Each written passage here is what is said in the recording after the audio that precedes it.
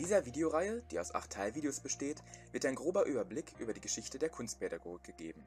Das erste Video beschäftigt sich mit den Anfängen im 19. Jahrhundert, dem Zeichenunterricht. Den schulischen Kunstunterricht, wie wir ihn heute kennen, gibt es noch nicht sehr lange. Eine künstlerische Ausbildung war zuvor nur als Bestandteil der Erziehung von Adligen oder der Oberschicht durch Privatunterricht oder in akademischen und beruflichen Rahmen möglich, also wenn man Maler, Bildhauer oder ähnliches werden wollte. Im Laufe des 19. Jahrhunderts wurde die Schulpflicht eingeführt, damit unter anderem alle Mitglieder der Gesellschaft eine gewisse Mindestqualifikation besitzen. Für das einfache Volk wurden Volksschulen errichtet, die jedoch zu der Zeit einen reduzierten Fächerkanon und Klassen mit über 60 Schülerinnen und Schülern hatten. In dieser Massenausbildung hatte aber der Zeichenunterricht einen festen Platz. Dieser Zeichenunterricht war jedoch sehr produktionsorientiert. Was und vor allem wie gezeichnet wurde, hatte Bedeutung für die spätere Tätigkeit im industriellen Bereich.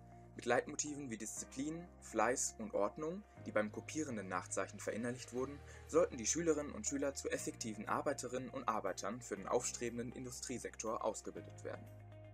Es gab viele Konzepte für den Zeichenunterricht in den großen Klassen.